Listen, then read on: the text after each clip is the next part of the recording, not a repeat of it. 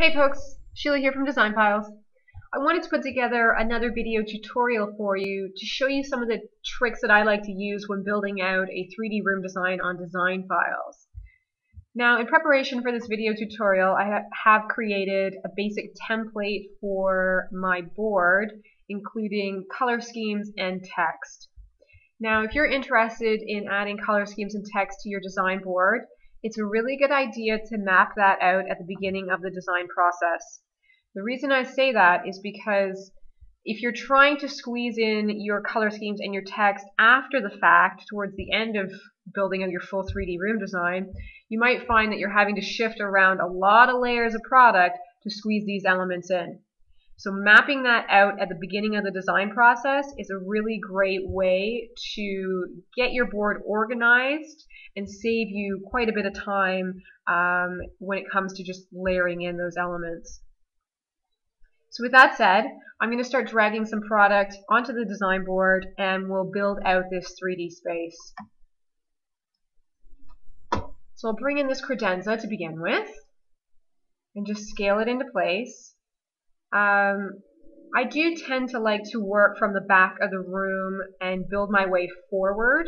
Uh, it's completely up to you and how you would like to build out your 3D room design. I find it helps me keep my layers organized because every product I drag out onto my canvas will act as another layer. So if I'm layering items one on top of the other and building my way forward, it just makes it a more organized process. Now, with this particular credenza, we can see that we've got a bit of a shadow here underneath it. I just want to clean that up a bit, so I'm going to go to my toolbar up here, and I'm going to click on the Remove Background button. Now I'm just going to slide this toggle to the right a little bit, and you can see that it cleaned up that shadow that was underneath this credenza. So I'll go ahead and save that. And now we've got a cleaner looking product that's added to our design board. So I'll just keep bringing some product out and scale it into place. You'll notice that I'm using these squares, these blue squares in the corner, to scale my product. So if I drag it out, it'll increase the size, and if I drag it in, it'll decrease the size. Just bring out this art piece here. I can see that some of this art piece is also missing, so again, we're going to use the uh, Remove Background tool. Click on that. I'm going to drag the toggle all the way to the left and fill in that background again. Save it, and now I've got a clean image to work with.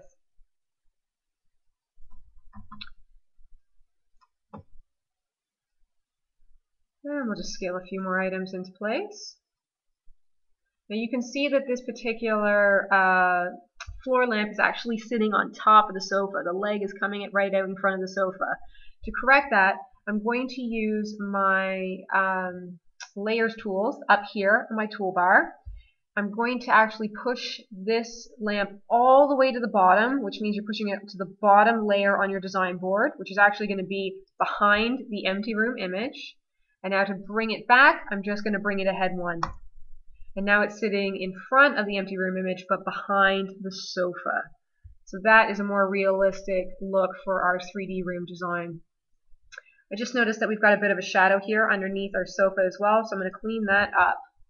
Go straight to the back or the remove background tool, and we'll just there we go. Slide that in place, clean up the item, and now we're good to go. So let's see here. I want to bring in a rug for this particular design. Now I'm sure you're thinking it. How are we going to add this rug into the 3D room design in a realistic manner? Well, it is shot square on, so we're going to use some tricks to basically hide the fact that this rug is shot square on. But first, I'm just going to clean it up because I can see there's some uh, of the image missing here. Go to the Remove Background tool, slide that back into place, save it, and now we've got a cleaner design. Now I'm also going to crop this item down and rotate it into place. So to begin with, we'll go to the Crop tool. I'm going to pull on these orange corners and scale this. I'm just going to take a section of it for the purposes of this design. So I'll save that. I'm going to use the round uh, circle here to rotate the rug. And actually I'll just use the edge of this uh, empty room image to make sure that I've got this nice and squared off. I'm going to scale this into place. Actually, just a little bit bigger than that. Okay. So we've got it in place now. So now what I need to do is make sure that it's sitting underneath the actual sofa. So I'll go to my layering tools again, hit bottom, and bring it ahead one. So now that it's in place, what we need to do is we need to hide the squared off edges of this particular rug. So I'm going to bring in the chairs. And once these are slid into place, they're going to hide those edges of the rug so that we can, you know what, I'm actually just going to, I'm going to crop this a little bit more because I'm a bit of a fusspot, so just scale that down a bit more and slide it into place. Okay, that is better. Sorry, some, honestly, I'm a little bit fussy when it comes to things like this, as I'm sure many of you are too. But you know what? It makes better designs, so it's okay to be that way.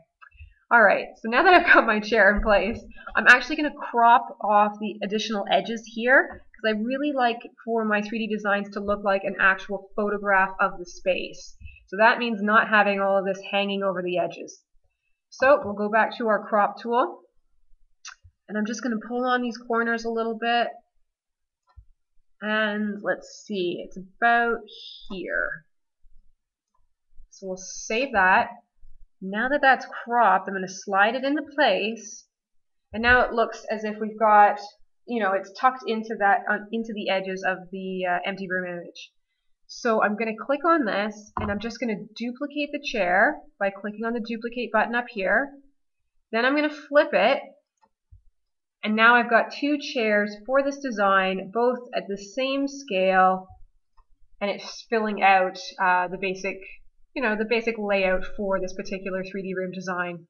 So definitely make use of that duplicate tool because it's going to be a big time saver for you. So now that I have that in place, I'm just going to throw in my coffee table. Scale this down and into place. And we are going to have to tuck it behind the two chairs. So to do that, instead, I'm just going to actually hit back a couple times. So we'll hit it once, it's tucked behind the one chair, and twice, and now we've got it tucked into place. Okay, so uh, let's bring in some decor. Add these pillows, scale these down into place. I can see that a portion of my pillow is missing right there, so I'm just going to fix that up a bit. We'll go into the Remove Background tool, and I'm going to build that back in. Perfect. Okay. Again, I'm going to duplicate that and I'm going to flip it and add it to the other side of the sofa. Alright, we'll bring in some additional elements. Scale that light fixture into place. Once you get used to using some of the key tools on design files, I think you'll find that building out your 3D room designs can be quite quick. So it really comes down to uh, just getting familiar with the layering tools, the crop tool, and scale. For the most part, that's all you need to build out your 3D designs. So again, we can see that this plant is sitting in front of this chair, and we need to move it back. I'm going to hit bottom to push it all the way to the back, and then I'll bring it ahead one. So now it's sitting in front of the empty room image and it's exactly where it needs to be. I'll flip this lamp and scale it into place. And then you can just start adding in some small decor elements to, you know, make the make your 3D room design feel lived in instead of just kind of like a, you know, a staged space. I like adding a lot of plants uh, to my mood board designs. It adds a nice pop of color, and if I'm going to be totally honest with you, I just really like having living elements in my space. So for me, it's a win.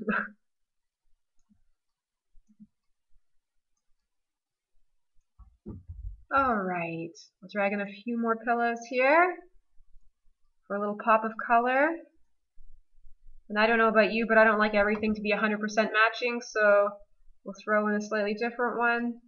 We'll just make it roughly the same size though, so it works in that manner. And that's it. You're just really getting used to using the scale tools uh, and the layer tools to build out your 3D room design. So just to reiterate, if you are going to be incorporating color and text into your design, try to map that out at the beginning of the design process so you're not having to shift around all these layers to squeeze these elements into your design board. I hope you enjoyed the 3D video tutorial. If you have any questions at all, feel free to reach out to us at any time. And remember that these video tutorials are always available to you on the How It Works page. So uh, you can use that at any point if you just need a refresh. Thanks for watching. Bye.